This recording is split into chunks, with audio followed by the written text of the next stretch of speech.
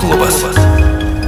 Daugiau kaip pusantro milijardo gyvų gyvūnų skirtų maistui kasmet keliauja po Europą. Toli gražu ne visada gabenimo sąlygos jiems tinkamos ir Europos parlamentas po 18 mėnesių tyrimo siūlo kaip lengvinti ne savo norų keliaujančių keleivių gyvenimą. Apie naujas taisyklės su europarlamentarais Broniu Ropė ir Liudu Mažyliu trečiadienį Europos klube. Sveiki, prie mikrofono Vilija Kvedaraitė. Po 18 mėnesių trukusio tyrimo europarlamentarai kviečia valstybės narės geriau saugoti gabenamus gyvūnus ir ilgainiui pereiti nuo gyvų galvijų prie skerdienos ir mėsos vežimo. Kasmet milijonai gyvūnų ES ir už jos ribų dideliais atstumais vežami veisti, penėti ir skersti. Jų geroviai užtikrinti nuo 2005-ųjų lik ir veikia specialios taisyklės, tačiau jų gyvendinimas problematiškas. ES viduje gyvų gyvūnų pardavimai viršyje 8 milijardus eurų per metus. Per metus gabenama apie milijardą 600 milijonų gyvūnų, daugiausiai paukščių, milijardas 300 milijonų. Keliauja 35 milijonai keulių, per 4 milijonus galvijų, beveik 3,5 milijono oškų ir avių ir 60 tūkstančių arklių priklausomai nuo gyvūnų rūšies, pagrindinės eksportuotojas Vokietija, Prancūzija, Niderlandai, Danija, Rumunija, Vengrija, Belgija, Ispanija ir Lenkija. Taip pat pervežama beveik 46 tūkstančiai tonų gyvų žuvų. Čia didžiausia eksportuotojai Prancūzija, Danija ir Čekija. Į ne ES valstybės gyvūnų kelionė sudaro apie 10 procentų viso judėjimo.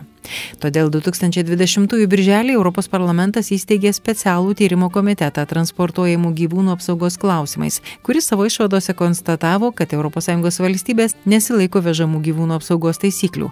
Tarp nustatytų pažeidimų minimas erdvės trūkumas, nepakankamas vėdinimas, netinkamas maitinimas ir girdimas. Gyvūnai transportuojami tam nepritaikytose transporto priemonėse gabenami ilgą laiką ir labai karštomis dienomis. Todėl pateiktos rekomendacijos taisyklių peržiūrai, kuri numatyta kitais metais, pasakoja Europos parlamento aplinkos komitete dirbantis Liudas Mažylis. Tiesiog konstatuojami nelabai tokie smagus dalykai, e, kurie, yra, e, kurie iškyla transportuojant gyvūnus.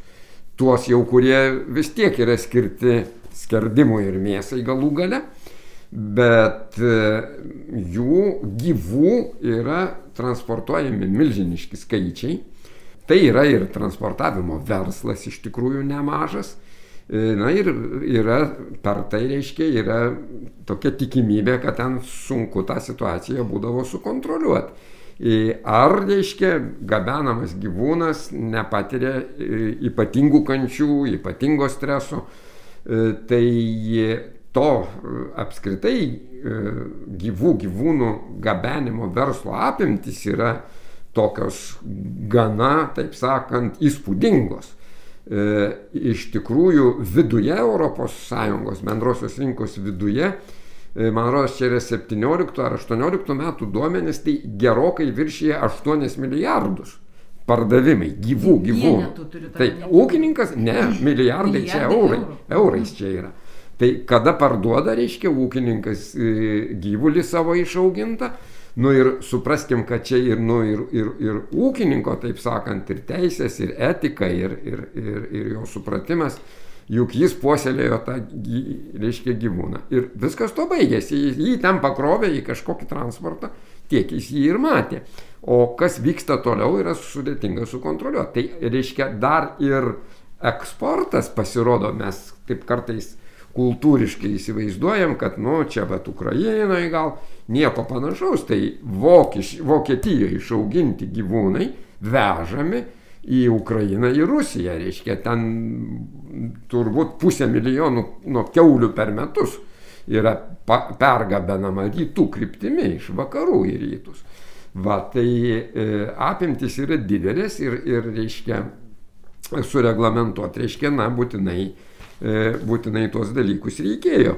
E, nes e, reglamentai tie buvo jau kaip ir pasenę, o per 15 metų apie gyvūnų fiziologiją atėjo, reiškia, jau naujų mokslinių duomenų, o dar ir Europos parlamentas mano, kad dar ir toliau reikia tyrinėti, reiškia, visus tos dalykus susijusius, reiškia, su to, su, su to, reiškia, gyvūnų gabenimu. O e, tai čia mes kalbėjom apimtys finansinės. Mhm. O, o reiškia gyvų gyvūnų, va čia būtent 17 metų statistika, e, tai jo milijonas gyvūnų e, gyvų vežama kur nors. Tai konstatuojama, reiškia, konstatuojamojo daly šito dokumento konstatuojama, kad na, taip priklauso nuo to, ar ilgai gyvūnas yra gabenamas, bet bet kuriuo atveju ilgai ar neilgai, bet svarbiausia, kad tai susiję su tuo, kad galimai nesilaikoma temperatūros reikalavimų, jie, reiškia, negirdomi, jie, reiškia, negauna poilsį ir, ir, ir reiškia, patiria, nu, tikrai to, ko negalima, reiškia, savo leisti ir įsivaizduoti, reiškia.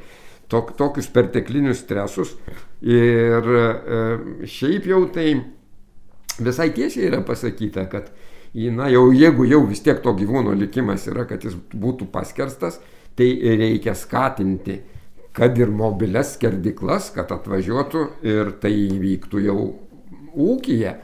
E, ir kad, reiškia, ne, nebūtų iš viso tų gabenimo iššūkių. E, tai nes jo perpildo tą transportą, nešeria, negirdo, reiškia, pakraunant gyvūnus, o čia kalba eina ir apie sunkvežimius, ir apie laivus, tai ir pakraunant, ir paskui iškraunant yra labai didelė traumų tikimybė. Niekas ten paskui jau su to gyvuliu numanomai nesiskaito. Turi, turi būti, reiškia, vedami vežimo žurnalai, nieks jų nepildo pasirodo, kaip tada, reiškia, ten ką tu gali pasakyti, jeigu nieko jokio įrašo nėra, nu ką reiškia, viskas buvo gerai.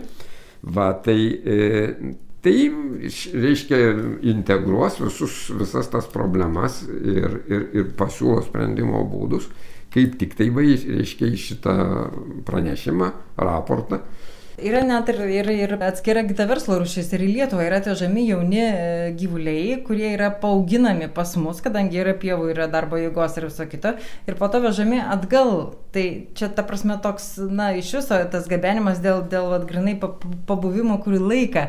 Tai tokia verslo šaka praktiškai kaip ir, ar, ar jinai, na, sakykime, pagal šito pranešimo normas, ar jinai atitinka iš vis. Kodėlgi jinai atitiks, juk nieks nepasako, kad mes visai uždraudžiam gyvulių gabenimą. Svarbu yra, kaip jie vežami. Taip, kaip, ne, taip, mhm. kad jie, kad reiškia, nu, būtų elementariai paisoma, nu, jau tos gyvūno gerovės, o tai, kad čia paaugino ir, ir reiškia, vėl parvežė, tai čia viskas yra yra įmanoma, leistina, čia verslas. Atstumai neribojami irgi, sakykime. Ne, tai bet ta, ta dvasia, aš taip ją suprantu šito dokumento, kad netiek yra atstumas.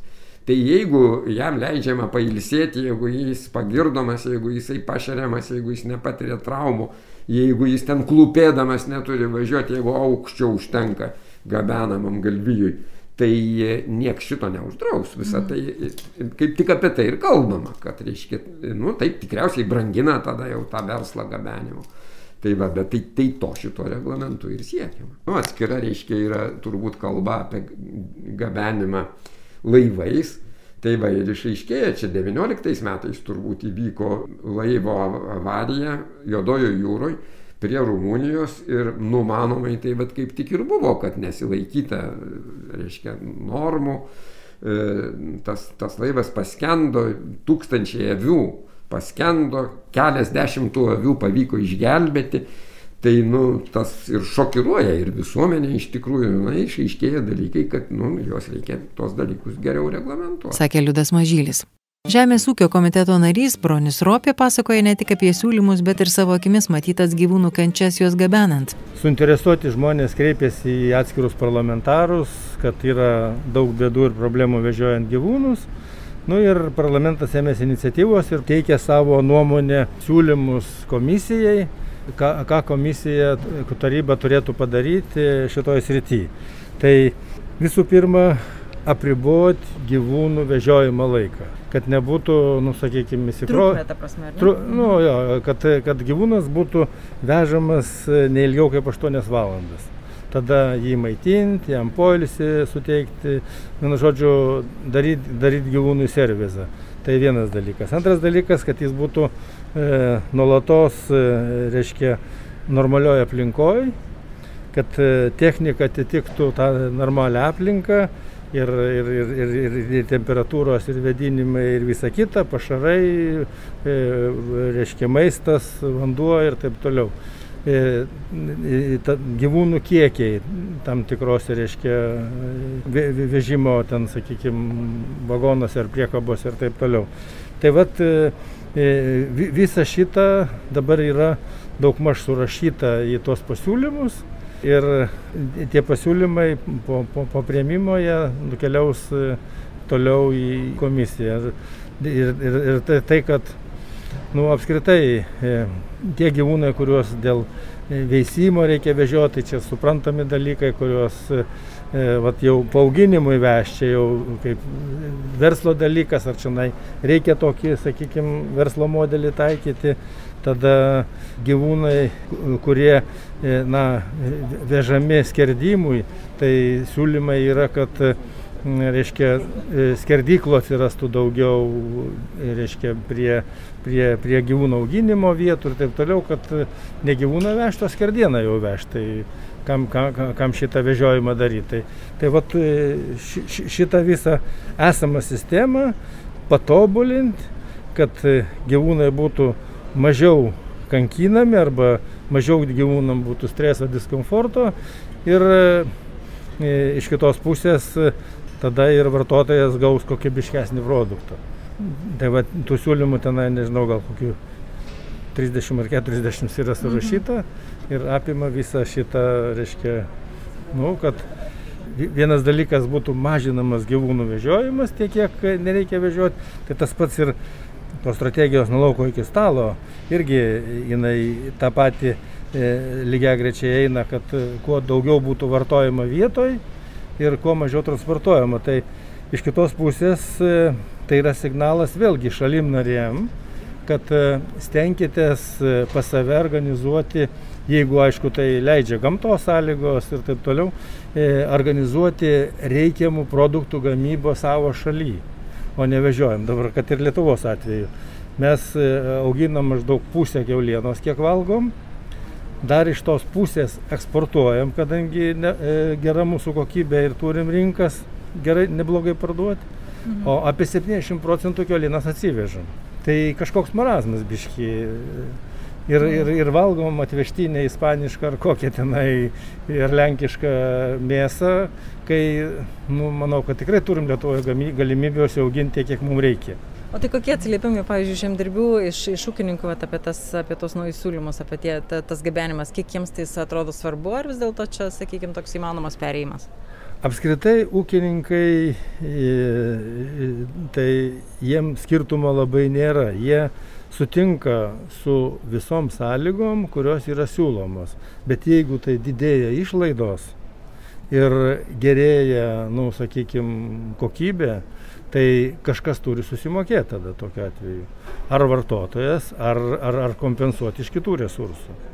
Tai jeigu ūkininkas, čia, čia apskritai visose dalyse, jeigu ūkininkas, nu, iš ūkininko reikalaujama ten be trašų ar be pesticidų auginti, jisai gali auginti, bet jo atitinkama išlaidos bus kitokios negu kad šiandieną yra. Mm. Tada arba kaina turi padengti, arba kažkas turi kompensuoti. Tai, tai šitoje vietoje ūkininkas yra, nu kaip, jis yra paklusnus nes jam ne, nu ne, bet jeigu jam uždedami reikalavimai ir išlaidos, jo pajamos sumažėja, išlaidos padidėja ir niekas nieko nedaro, tada žinoma jis piktas ir pradeda reikalauti, kad e, kažką darykit. Bet apskritai, pavyzdžiui, net ta, pats tas verslas, na, jisai toks kaip dabar, kad atveža iš kur, aš nežinau, iš kur mhm. veža tuos gyvulius, kad juos paauginti, pavyzdžiui, Lietuvoje, nes turbūt, na, pigiau paauginti Lietuvoje negu kažkur, ar ne? Kas okay. šiaip jau logikos dar mažiau turi ne, negu tas vežimas. Tai toks apskritai kaip verslas išnyktų, ko gero, ar ne? Nes žiūrint, kiek ten tas gabenimas įmanomas. Nu, aš ten tų skaičių neturiu, e, negaliu, negaliu pasakyti, kiek, e, kiek, kiek čia to to, to e, verslinio vežiojimo yra, bet tai, kad Lietuvoje pas mus yra pakankamai daug gerų vietų auginti galvijams, tai taip. Tai, o jeigu paimam vidurio Europą, tą pačią seną Europą, ten trūksta vietos gyvulių auginimui. Tai. tai ir dėl to, matyt, atskiros kompanijos naudojasi. Nu, tik tai matyt, tada logiškiau būtų juos ir veisti, aš nežinau Lietuvoje, kad jie iškart jau čia auktų ne, ne, neatvežti. Nu tai tas, tas atvežimas vėlgi priklauso turbūt nuo veiklos rezultatų. Jeigu visai neblogai, e, reiškia, e, neblogas verslas paauginti, Tai kodėl man neužsimti paauginimu? Na, nu, ja, bet gyvūnai, tai aš turiu ne iš gyvūno pusės jau čia, ar ne tas tampimas? Na nu jo, tai už tai ir skatin, yra skatinimas, kad jeigu jau atvežėm paauginti, kad paskui čia naiskerstų ir vežtų skerdieną. Taip. O ne vėl atgal gyvūną vežtų ir tada ten naiskerstų ir, ir, ir vėl taip toliau. Tai kad gyvūną vežiotų kuo mažiau. Sim, ko gero kelionės nelabai. Ne, nu tai atsimenamgi, kada, kada ten kolūkių laikais vežiodavo, tai su su lasdom, su bizūnais, kol pakrauna, tai ir koja nusilaužė gyvūnas ir, ir vienas guli, dešimt ant jo su, sušokia ten, nu, košmarai.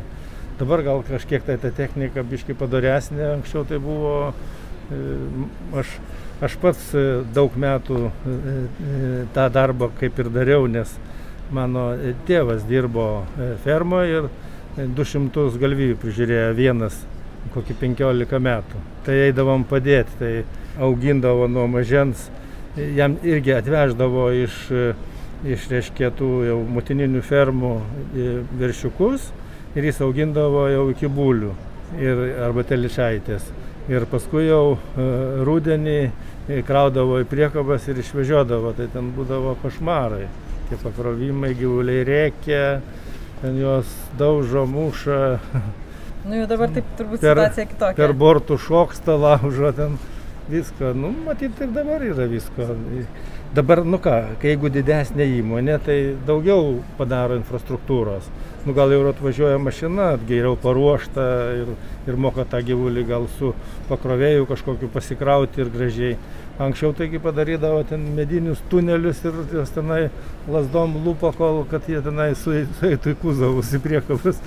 Tai kai žmonės nemato, tai jeigu, sakykime, tau reikia tenai šimtą galvijų pakrauti, o e, ten laiko turi kelias dienas, tai turi kažką daryti.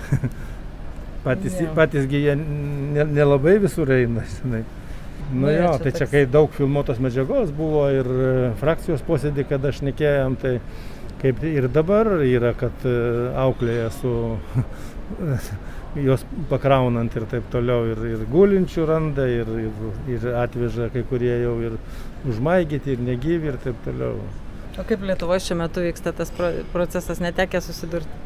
Nu, kažkaip tai bent jau tokių labai klausimų nekelia.